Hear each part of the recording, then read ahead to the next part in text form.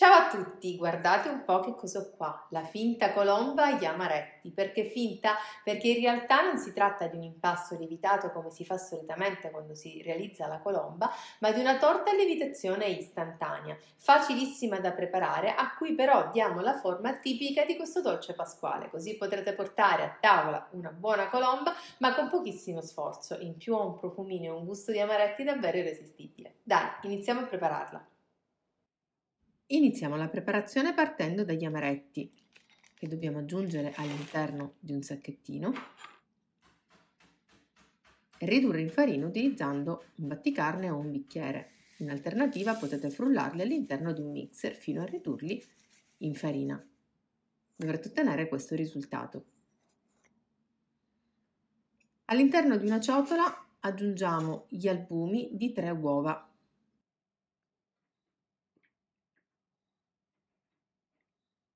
All'interno di una ciotola più grande aggiungiamo invece i tuorli.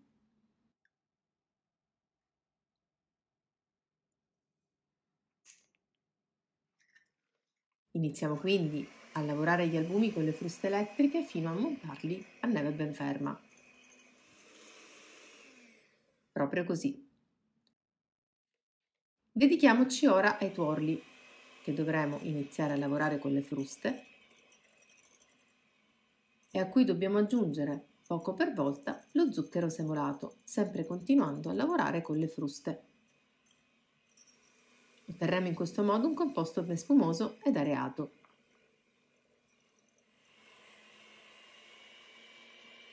Aggiunto tutto lo zucchero possiamo versare il latte a temperatura ambiente, sempre aggiungendolo a filo Versiamo quindi il burro, precedentemente fuso e lasciato da parte ad intiepidire, anche in questo caso versandolo a filo. È il momento di aggiungere la farina 00. L'aggiungeremo un cucchiaio alla volta, continuando a lavorare con le fruste elettriche.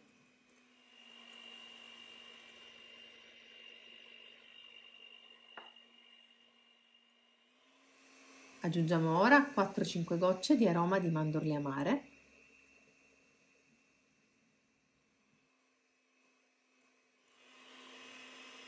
Lavoriamo ancora con le fruste e versiamo quindi una bustina di lievito vanigliato per dolci. Dovremo ottenere un composto ben liscio e vellutato. A questo punto possiamo aggiungere gli amaretti che abbiamo sbriciolato inizialmente e li aggiungeremo incorporandoli con una spatola. Compiendo dei movimenti dal basso verso l'alto, poco per volta aggiungiamo tutti gli amaretti. Fatto questo non ci resta che aggiungere gli albumi che abbiamo montato a neve inizialmente. Anche in questo caso li aggiungeremo poco per volta incorporando con movimenti dal basso verso l'alto, così da continuare ad incorporare aria all'interno del nostro composto. Una volta pronto lo versiamo all'interno di uno stampo da colomba, livelliamo per bene con una spatola e quindi decoriamo in superficie con degli amaretti sbriciolati, anche grossolanamente, così da ricoprire un po' tutta la superficie. E infine della granella di zucchero.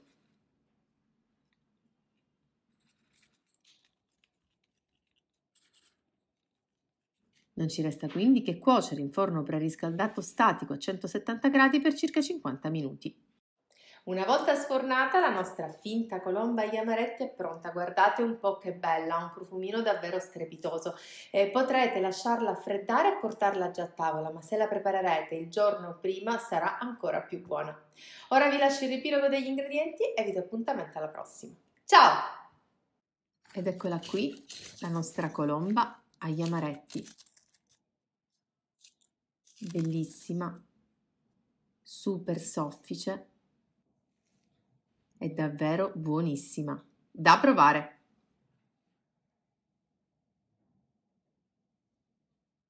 Per preparare la colomba agli amaretti serviranno 3 uova, 100 g di burro, 280 g di farina 00, 180 g di zucchero, 80 g di amaretti, 180 ml di latte, una bustina di lievito vanigliato per dolci, 4-5 gocce di aroma di mandorle amare. Per decorare invece amaretti e granella di zucchero. La trovi su tuorlorosso.it.